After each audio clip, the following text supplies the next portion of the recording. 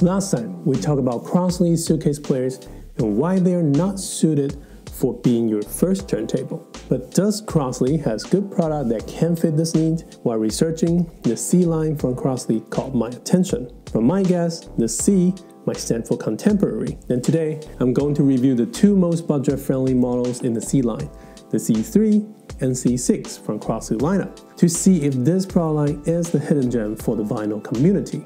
I'm Jojo, a designer and audiophile. Welcome to my channel.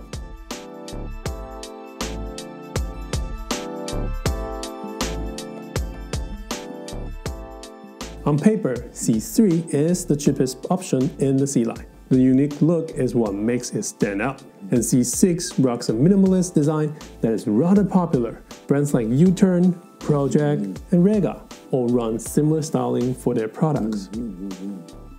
I will list lists back for the C3 and C6 here so you can take a look. Right out of the box, I notice how cheap and rough the C3 is.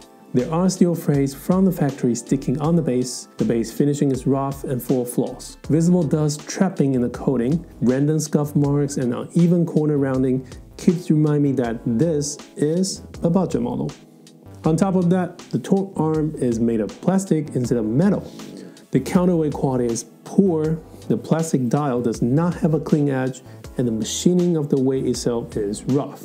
After assembling, it looks pretty special from a distance, but fail if inspecting closely. A Crosley that cannot look closely?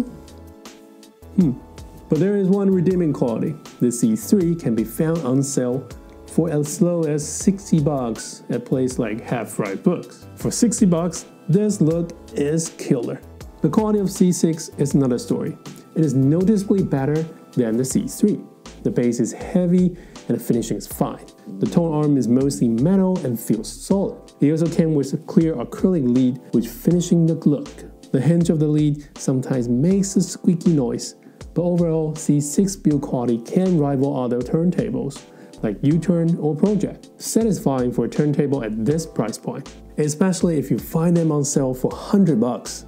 The C6 also came with Bluetooth connecting feature. Establish a connection for the C6 is easy, but there is about 2 second delay between the playback and you actually putting the needle on. It is a convenient feature, but the sound quality is lesser than connecting the C6 directly to the receiver.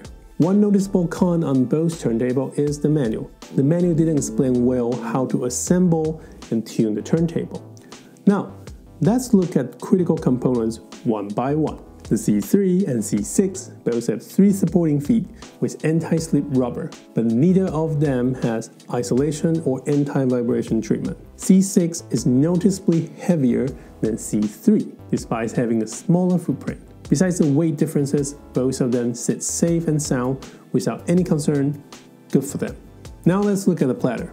The platters on the two turntables are both metals. Both are heavy and smooth, great for entry-level pricing. The C6 has a slight bevel on the edge that makes picking up records after playing easier. Little thing like this is a sign of caring about detail. The motor on the C3 and the C6 has distinctive quality differences. The motor on the C3 is noticeably noisier than the C6, but interestingly, the power supply for the C3 has higher amperage output and seems like better quality. All of the Crosley model I experienced have the torque arm as the trigger for the motor.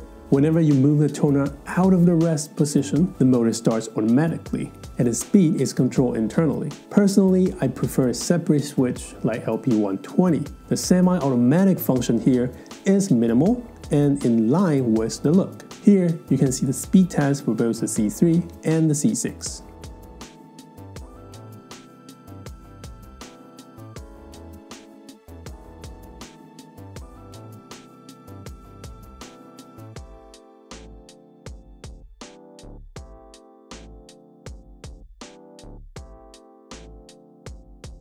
The tone arm is one of the biggest differences between C3 and C6. C3's tone arm is mostly made of composite plastic. Critical functions are provided, but a lot of flaws in the details.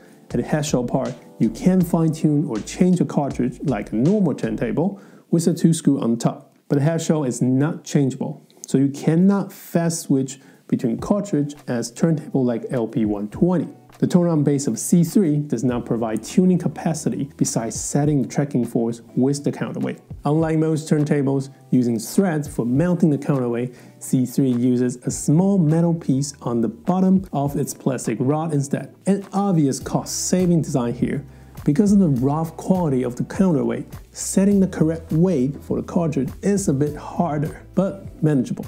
Some really bizarre design for C3 is the cueing lever. The damping for the lever simply doesn't exist. If you don't lower the lever as gentle as you can, the lever drops the cartridge onto the record like a stone and makes loud pop.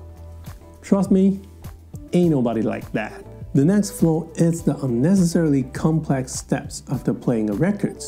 Normally, we turn the lever up to raise the tone arm at the end of the playing, then we put the arm to the rest position, lock the arm, and done. However, the C3's armrest is set at the height of the playing position. So you need to lower the lever for the arm to rest in the armrest, lock the arm, then pull up the lever to prevent accidents on the next session. When pulling up the lever, the whole tone arm module will get pulled up as well, adding a lot of steps and probably unnecessary wear and tear on the parts. Pretty baffling if you ask me. Now, let's look at the C6. C6 tone arm module is made out of aluminum. The machining is clearly higher quality.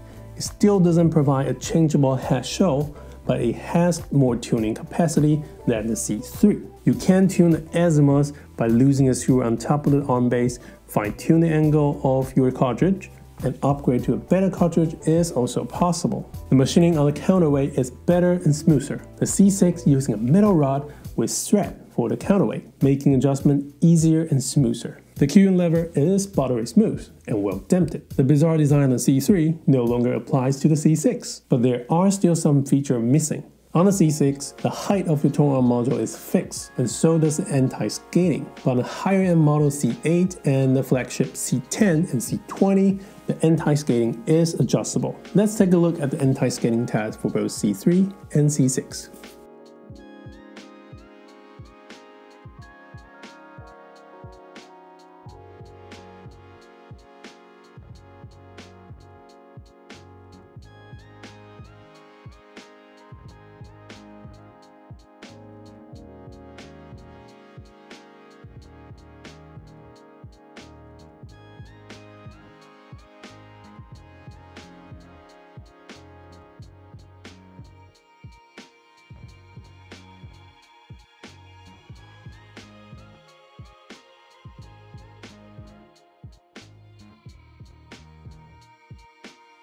The preset anti-skating is not a deal breaker, but it is something you should put in mind because different cartridges require different anti-skating strengths. I can only assume the preset on the C3 and C6 is for the Audio Technica AT3600L cartridge that came with the turntable. When switching to higher grade cartridge, the preset anti-skating might not be ideal which affect the balance between the left and the right channel. Noticeably, some popular brands have similar limitations like the C6. U-Turn does not provide adjustable anti-skating across their lineup, and Pro-Ject does not provide this feature on their entry-level product like T1.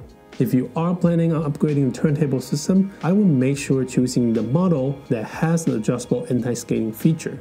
Both the C3, C6, and the C8 is equipped with Audio-Technica AT3600L cartridge with MP5 stylus. The dearly Y cartridge is also featured on other entry-level turntable like the Audio-Technica AT60 series. The recommended tracking force is 3.5 grams, which actually makes setting up a bit harder due to the dial on both C3 and C6 only goes up to 2 grams. A digital scale for setting up the tracking force here is highly recommended. Having a skill in hands actually takes away lots of guessing work and trouble for the process. For the Crosley lineup, it is not until the flagship C10 and C20 that you get the Ortofon OM5E cartridge pre-installed with the turntable. If you want other cartridge, make sure you factor that into the price when comparing products. Like I said in the last video, the cartridge is the soul of a turntable. It sets the fundamental sound you get from the turntable. I put C6 together with my LP120 USB, which has an AT95E cartridge with LP Gear's carbon stylus. I put both turntables through my Marantz NR1609's phono preamp to minimize other factors.